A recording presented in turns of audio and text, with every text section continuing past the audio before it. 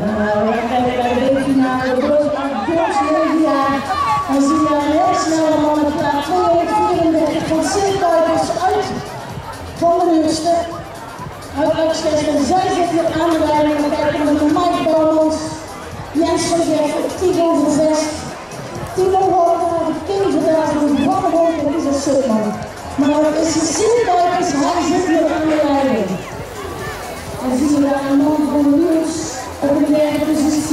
En dan is we van boven. daar gaan we twee vieren.